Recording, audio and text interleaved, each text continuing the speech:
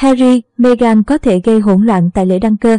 Hoàng tử Harry và Meghan Markle được cho là đã yêu cầu một vị trí trên ban công cung điện Buckingham cũng như sự hiện diện của hai con trong lễ đăng cơ của vua Charles.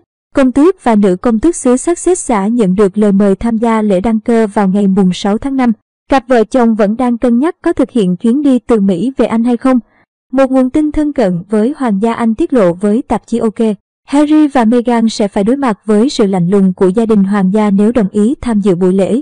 Tuy nhiên, họ không bận tâm quá nhiều đến điều đó, thay vào đó họ xem trọng việc các con, hoàng tử Archie và công chúa Lilibet, có vai trò như thế nào trong ngày ông nội lên ngôi. Người ta tin rằng Archie và Lilibet không được mời tham dự lễ đăng cơ. Theo nguồn tin, sự vắng mặt của hai đứa trẻ chưa bao giờ là vấn đề gây tranh cãi bởi có thể ảnh hưởng đến sự kiện trọng đại do khó kiểm soát được sự bồn chồn và cáo kỉnh điển hình. Những em bé quá nhỏ tuổi. Dẫu vậy, Harry và Meghan không mấy thoải mái. Cung điện đang cố gắng kết thúc các cuộc thương lượng càng nhanh càng tốt vì họ hai em bé không thể trực tiếp tham gia sự kiện. Điều đó có thể dẫn đến hỗn loạn. Tuy nhiên, gia đình Sussex đang đấu tranh là để các con được góp mặt với các thành viên khác của gia đình trong các chương trình vào cuối ngày hôm đó tại cung điện Buckingham. Ngày đăng cơ cũng là sinh nhật tròn 4 tuổi của hoàng tử Archie nên họ muốn sự chào đón trong bữa tiệc trưa hoặc tiệc chiêu đại tối.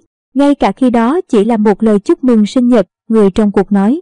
Harry và Meghan cũng được cho là đang cố gắng để được xuất hiện trên ban công của cung điện Buckingham vào ngày trọng đại. Nghi thức vốn chỉ dành cho những thành viên cấp cao đang làm việc trong gia đình hoàng gia.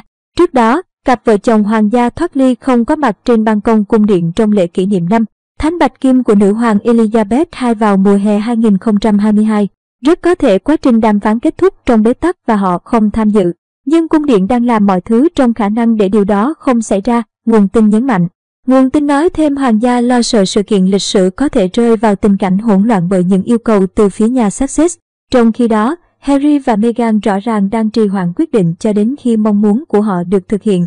Khác với Archie và Lilibet, các con của hoàng tử William và công đương kết dự kiến có vị trí quan trọng trong lễ đăng cơ của ông nội. Điều này được tiết lộ trong kế hoạch tổ chức sự kiện bị rò rỉ.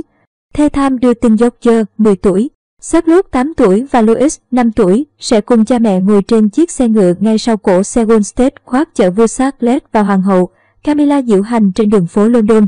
Đại diện của nhà Sussex chưa phản hồi khi được báo chí liên hệ. Trong khi đó, Hoàng gia Anh từ chối bình luận về thông tin trên. Hoàng gia Anh tiếp đón Harry và Meghan dự lễ đăng cơ. Nguồn tin độc quyền của Daily Mail tiết lộ cung điện Buckingham đang lên kế hoạch cho việc Harry và Meghan tham dự lễ đăng cơ của vua Charles. Tuy nhiên, chưa có gì chắc chắn vợ chồng nhà Sussex sẽ góp mặt. Daily Mail dẫn nguồn tin riêng cho biết các nhân viên của cung điện Buckingham đã bắt đầu công tác tổ chức hậu cần cho lễ đăng cơ của vua Charles, diễn ra vào ngày mùng 6 tháng 5 và có hướng dẫn đưa công tước, nữ công tước xứ Sussex vào kế hoạch của họ. Những người trong cuộc lưu ý vẫn chưa có thông tin nào cho thấy Harry và Meghan chấp nhận lời mời của vua cha. Nhưng nhiệm vụ của đội ngũ tổ chức sự kiện là phải sẵn sàng trong trường hợp họ xuất hiện. Harry và Meghan đang được đưa vào tất cả kế hoạch, gồm xe hơi đưa đón, chỗ ngồi, sắp xếp ăn uống và những thứ khác. Không ai biết liệu điều này có nghĩa là họ chắc chắn tham gia hay không. Các nhân viên đang làm việc theo kỳ vọng họ đang đến. Những loại sắp xếp này phải được thực hiện tốt trước, nguồn tin nói. Tối mùng 8 tháng 3, nguồn tin trong cung điện xác nhận thông tin.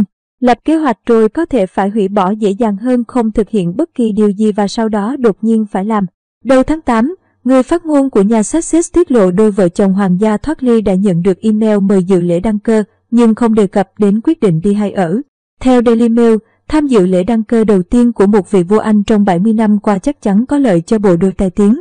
Thời gian làm việc trong hoàng gia và mối quan hệ với các thành viên trong gia đình đã hình thành cơ sở cho các hợp đồng truyền thông lớn nhất của họ ở Mỹ cho đến nay. Việc Harry và Meghan quyết định công khai gọi các con là hoàng tử, Archie và công chúa Lilibet cũng được hiểu là dấu hiệu cho thấy họ quyết tâm duy trì mối liên hệ với chế độ quân chủ. Bất chấp những cuộc tấn công không ngừng vào gia đình hoàng gia, ngày mùng 8 tháng 3, Cung điện Buckingham cuối cùng cũng cập nhật trên trang web chính thức tước vị cũng như quyền thừa kế đối với con của Harry và Meghan. Hai đứa trẻ được giới thiệu là hoàng tử Archie của Sussex, đứng thứ sáu trong danh sách thừa kế ngai vàng và công chúa Lilibet của Sussex, xếp thứ bảy. Dù là cháu ruột, vua Charles chỉ mới gặp Archie, vừa tròn 4 tuổi, vài lần. Trong khi đó, Lilibet, 21 tháng tuổi, mới diện kiến ông nội một lần duy nhất tại đại lễ. Bạch Kim kỷ niệm 70 năm trị vì của nữ hoàng Elizabeth năm 2022. Nếu trở lại Anh vào đầu tháng 6, Harry và Meghan sẽ tham dự một số sự kiện công khai trong tối thiểu 3 ngày trước buổi lễ chính. Cuối cùng, mọi người tập trung tại tu viện Westminster vào ngày mùng 6 tháng 5 để chứng kiến giây phút trọng đại của vua Charles. Gia đình hoàng gia dự kiến xuất hiện trên ban công cung điện Buckingham sau đó. Số người giới hạn cho các thành viên đang làm việc cho hoàng gia, tránh bất kỳ sự khó xử nào xung quanh gia đình Sussex và hoàng tử Andrew. Hoàng tử William được cho là giận dữ về hành vi quay lưng với gia đình của Harry.